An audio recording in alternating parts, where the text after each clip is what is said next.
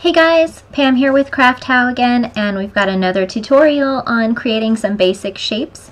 So we're learning how to use simple shapes like squares, rectangles, and circles to create more complicated items.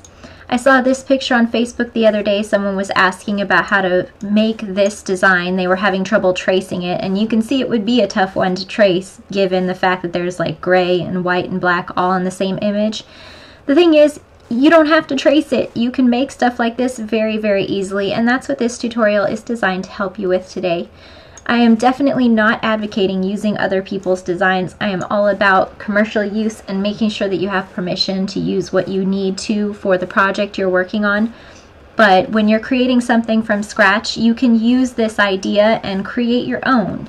Um, and it's not intimidating to do your own designs. And so what I'm trying to do is not teach you how to duplicate something, but more to teach you the techniques that create a shape like this. So let's talk about this shape. Um, it's very symmetrical. All of the lines are about the same thickness. And so I'm choosing a thickness to work on this project of 0.15 and you'll see where that comes in in a few different places. So I'm going to start with some rectangles. There's a rectangle here and a rectangle here. So I'm going to do my vertical rectangle and we are going to make our width 0.15. We already have our point in there, 0.15. And then we are going to make another rectangle to be our crossbar. And again, we want that one to be, in this case, a height of 0.15. And so that's part of our cross right there, our anchor right there. We're going to center those items. And we are going to make our circles for our sidebars here. And so I just want those to be a little bigger. I'm going to hold shift so that we get a nice even circle. And then I'm going to hold alt and copy a copy of that circle.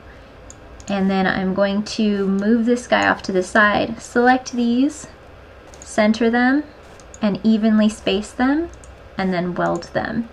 So that's our crossbar, and then there's our centerpiece. So now we need to do this top, and again, it's just a couple of circles. So I'm going to create a circle. I'm going to use my offset tool to create an offset of 0.15. We're going to apply that. We're going to make that a compound path, and we are going to put that right about there.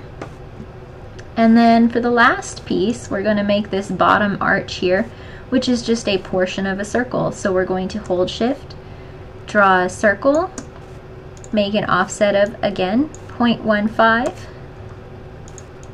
right click both of those and make them a compound path.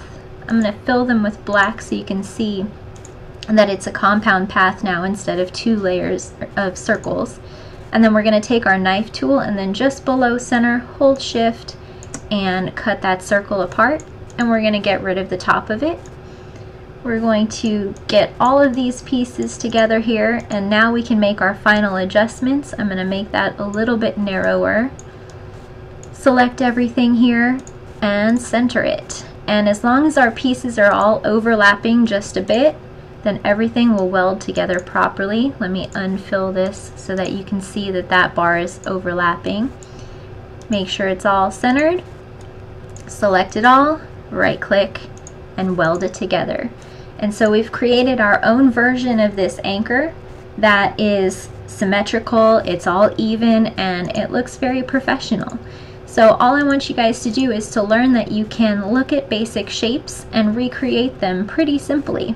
And once you get some simple techniques under your belt, it's a lot of fun because you have a whole world of design opening up to you.